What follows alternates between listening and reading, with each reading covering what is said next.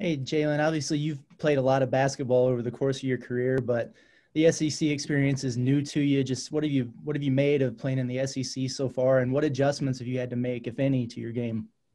Um, it's not too different, man. Honestly, you know, with, like you said, I played a lot of basketball. Conference play is always a monster, man. Every single night is going to be a war, and you know you're going to get everybody's best shot, no matter how high up or down you are on the total. And you know, with our record, teams are always going to take their best shot at us. So just you know, continuing to grow long and just the quick turnarounds is really what I've made so far. Just the Wednesday, Saturdays, opposed to you know coming from a mid-major Thursday, Saturdays, Friday, Sundays. It's really like honestly what you make out kind of what the NBA schedule is a little bit because you got to get right back on off the road and you don't really have the days off that you might have at a smaller school and you know you got to get right back to the work get to the next scouting report man and straight into prep for the next game every single time definitely a different turnaround. Bob. Uh, hey, hey, Jalen, how you doing?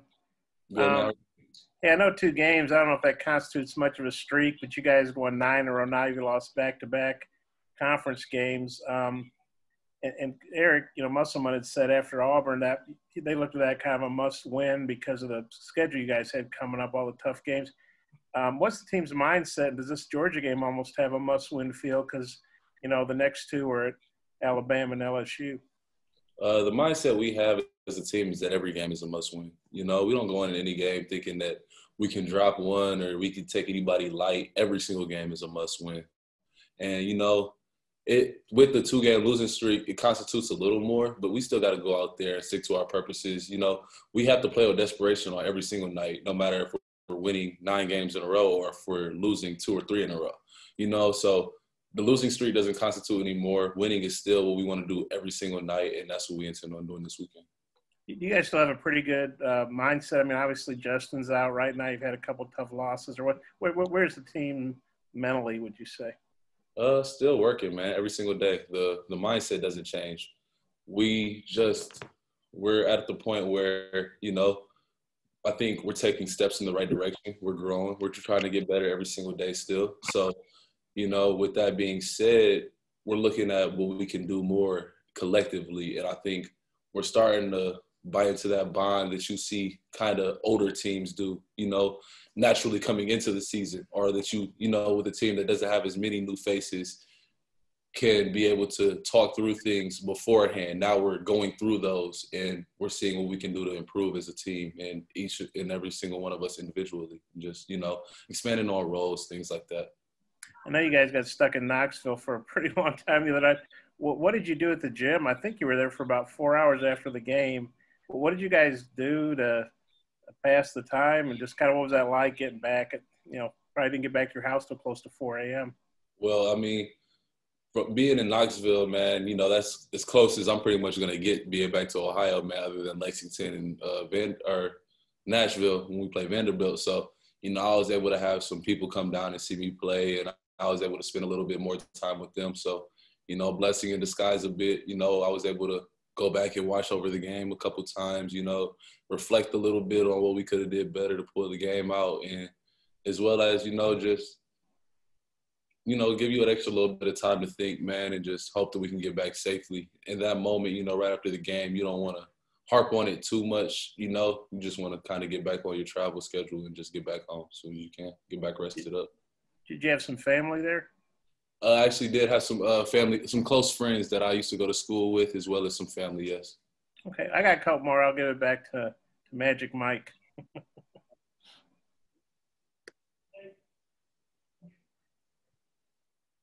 You were uh you were muted. He didn't hear you. Nate. Uh, nothing. no, I got nothing until uh, till, till Coach Musselman. Scotty.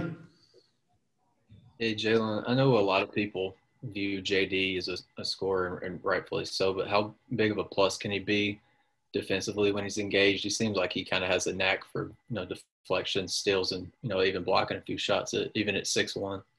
Uh, he's a great two way player, man, all around, and just you know when he taps into that and really holds himself accountable as a defensive uh, stopper, you know that he can be and puts the effort both on both ends, which he normally does too. Not saying he doesn't or anything, But when he really locks in on it, man, he can be just as good a defender as anybody I know. Hutch, Yeah, Jalen, what did you see out of Vance Jackson on Wednesday, and is that maybe something you could see him him building off of moving forward? I mean, that's the Vance I've come to know with the way he works, you know, and you know, in the in the time we could play pickup in the summer, you know, with the whole COVID thing, it wasn't too long, but you know, the times where we could see each other play, and then just you know, watching him as a player before we came here, and just seeing the film on him when I was considering coming here, that's the player that I've come to see him as, you know, a veteran now, but then you know, still a scorer, a shooter, guy that puts a lot of pressure on the defense, and just knows the game, has a pretty good feel for the game all around. Tom, Jalen, I'm wondering about you guys from a confidence level offensively, and and particularly for yourself too. Your mid-range game seemed to be on in the last game. Um, just you know, referring back to the work we put in all the time, man, and just really like a whole lot of film watching, just seeing how teams are guarding us, seeing you know now that we have a pretty good body of work with you know the first quarter or third of the season, I should say, you know, being out the way. So just taking upon that and taking the sample size we do have and paying attention to you know where our spots are, where my spots are in particular, and just where I can help the team be successful in any way I can. The 20 turnovers, I'm sure, weren't what you guys wanted the other night. Um, do you attribute that to anything in particular, and how much better you need to get there? Uh, it's definitely something you can't score the ball you're giving it away. So something we have to get better at, and it'll come with time. We're still working through some kinks throughout our offense, and when I say kinks, we just have to be tighter with the ball. You know, pay more attention to detail.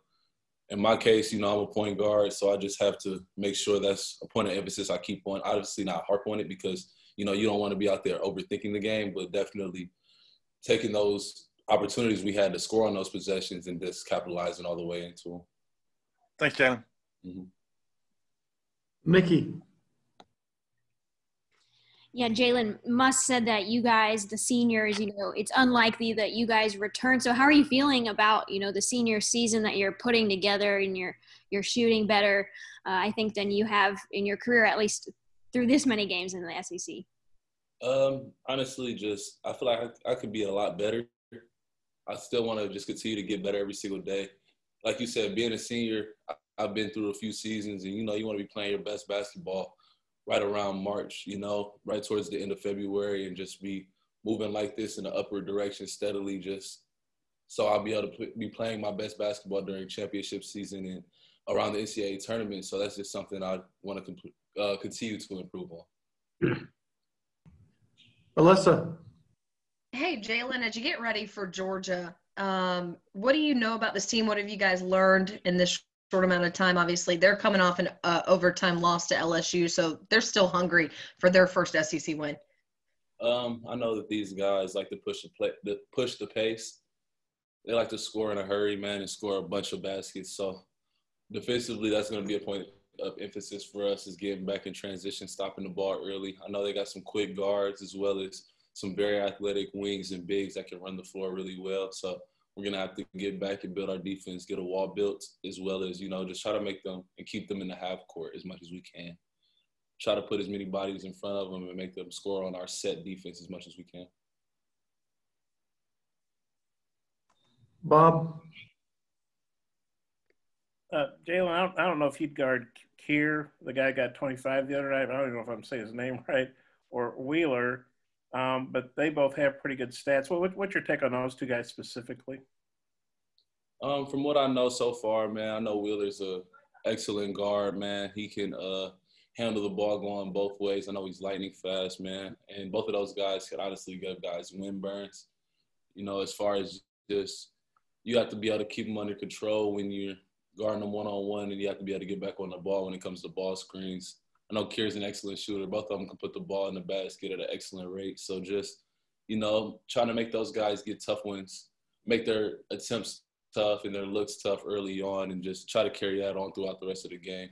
Don't give them too many second chance opportunities. Yeah, I'm not the hippest guy. I'm, I'm sorry. Go, go ahead and finish. I'm sorry. No, that's all good. Go ahead. Okay. That was all good. So I'm not the hippest guy. Windburns. When you say that, you mean they can blow by you? Or that's not a term I'm familiar with. Uh, actually, that's a term coach has been using a little bit too. So just you know, something that you know has been fresh on my mind from the scouting report and just things that we've been putting together to try to stop, uh, slow those guys down a little bit.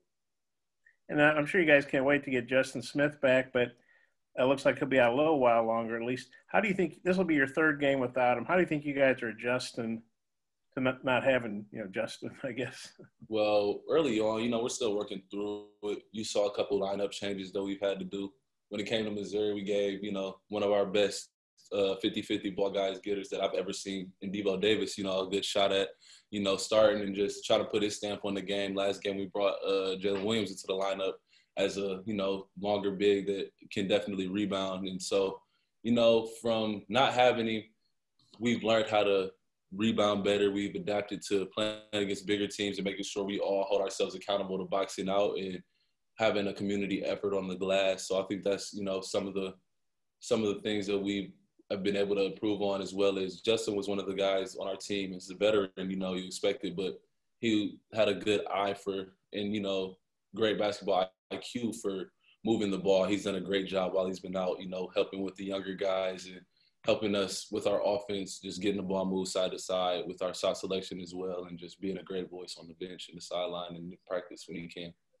That's got one more, if it's okay. Um, you know, I know this is your first season with Desi. He's had a couple rough games, but you know, he's a guy that sort of had a you know a couple rough games here and there, and then he really bounces back. What what what do you seeing from Desi, and just uh, what, how do you think he'll do after a couple tough games? His work ethic doesn't change, man. That's one thing about Desi. He's, a consistent guy, and you know this isn't his first go round. You know, second or third year guy, bad, games are gonna happen. You can't or off nights. I shouldn't even say bad games. You just got to find your way to be able to continue to put your stamp on the game. And I think he's more than capable of doing that. And I expect him to. With the upcoming schedule we have, we're gonna need him, and you know he knows that we're gonna need him. And he's all he's a guy that's all about the team, man, and he'll make whatever sacrifices it is, and he'll play his butt off every single minute that he's out there. I have no doubt in my mind. Okay, thank, thanks, Jalen. Thank you, Jalen. Appreciate your time.